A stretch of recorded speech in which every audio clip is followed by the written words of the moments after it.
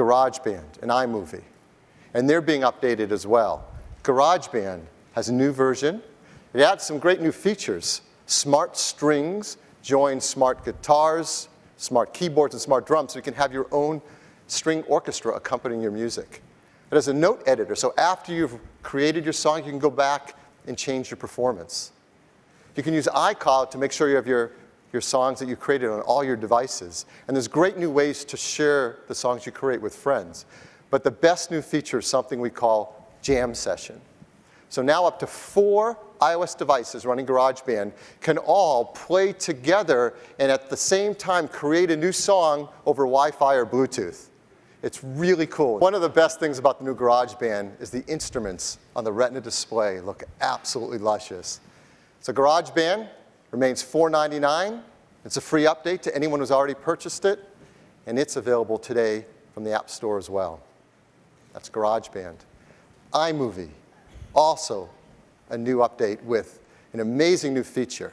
Now, not only you can create a movie, but you can also create a movie trailer as well. This is something we had brought to the Mac, and customers have loved it because it is so fun to be scripted right through how to create an amazing, quick and easy video piece. So all you do on the iPad is you select from a bunch of different styles and templates, and you're presented with a simple interface for creating your movie trailer. There's never been video editing like this. You fill out your outline, for example, what your movie studio name is going to be and who's the director, and then you tap on the storyboard, and you have a visual storyboard of the piece you're creating, where it tells you exactly what shots you need, like a close-up, an action shot, a group shot.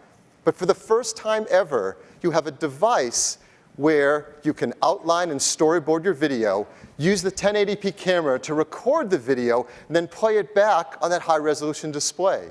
It is truly a transformative way to do video editing.